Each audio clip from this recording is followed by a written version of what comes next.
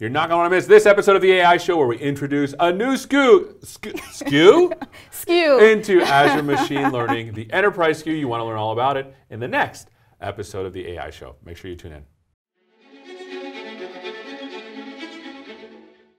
Hello and welcome to this episode of the AI Show where we have a special guest to talk about a new and exciting SKU in Azure Machine Learning. Tell us who you are and what you do, my friend. Yeah, uh, I'm Shanae Winner, and I'm a program manager on the Azure Machine Learning Platform team. So let's start off first with what prompted us to introduce a new SKU into Azure Machine Learning. Yeah, so Seth, uh, as you know, our product has grown tremendously since we made it publicly available.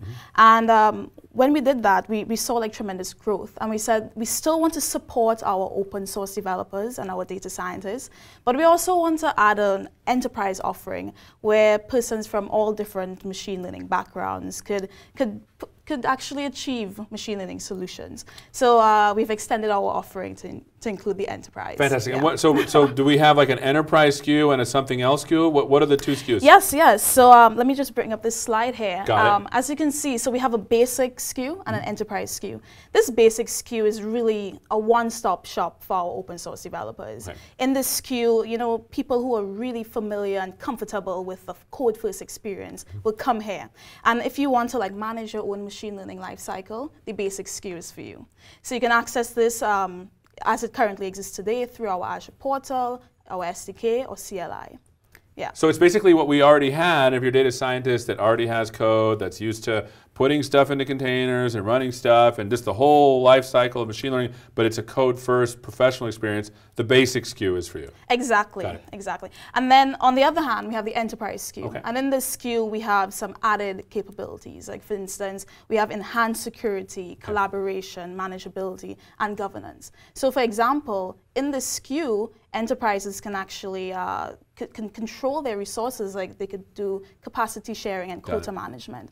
Also in the SKU, um, there's machine learning for all. We have some really cool new UI capabilities, um, like self-serving UI and drag and drop UI. And then also we've improved our MLOps capability to streamline the machine learning lifecycle. So that, that's amazing. So basically, we have like what we had before, but now we're adding stuff for people that are maybe not pure data scientists. We're giving them more of a, of a look and feel for someone who's like a citizen data scientist, but we're also adding effectively enterprise level things for Exactly, sharing and yes. etc. So what kind of things are in the enterprise SKU? Why don't we talk about that? Yeah, sure. So as I said, uh, we still have support for like RBAC, VNets. Um, we users will be able to like use their uh, manage their resources um, more Yeah.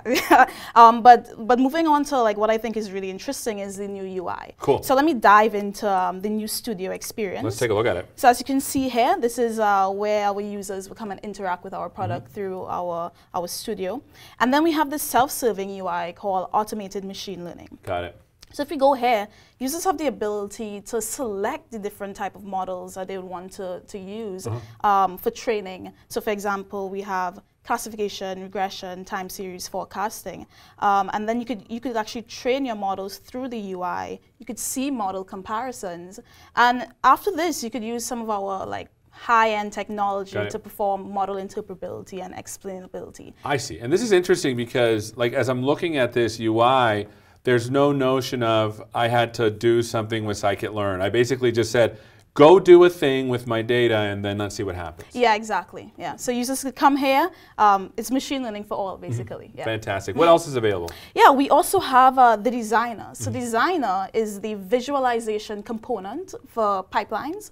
So Azure Machine Learning Pipelines is really just uh, a workflow where users can stitch together various phases of machine learning. So you can stitch together like data preparation, uh, model training, uh, deployments. Got it. Uh, so pipelines really can consist of one step, uh, as you can see here in this slide, or multiple steps, uh, as you can see Right. here.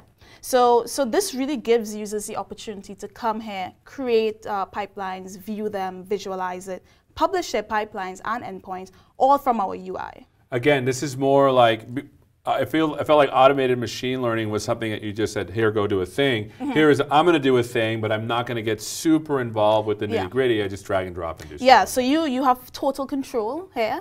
Uh, once again, this is great if you like, and you could also like edit these modules. Mm-hmm. Uh, so you have the experience of using it from the UI and also um, through code. Yeah. That's awesome. So when let's just say someone already has an existing Azure Machine Learning workspace, how do they access these new capabilities? Yeah, so uh, you can so as of right now, all our users will have like default workspace, which is basic, Mm-hmm. and you could simply upgrade to the enterprise workspace. And to do that, currently you could do so through the Azure portal. Got it. Um, so you could either create a new enterprise workspace or upgrade your existing workspace to enterprise. Fantastic. Yeah. So let's talk about costs. Uh, Mm-hmm. Obviously, there's going to be a difference in cost between the two. Let's talk about that a little bit. Yeah, so there's a difference in cost. Um, so actually, the basic SKU is uh, we're dropping the surcharge Mm-hmm. on uh, some of our computes. So for AKS, we're dropping it. Mm-hmm. Uh, but for the enterprise SKU, there's there's an additional cost. There will be a surcharge on our compute targets, and I suggest visiting our pricing page to learn more about the changing costs. Fantastic. So this is pretty exciting. We have a basic SKU for if, if you've already been doing stuff. It's pretty exciting. You can still do that. Yeah. It's all code first. You're a professional. You're going to do the thing yourself as a data scientist.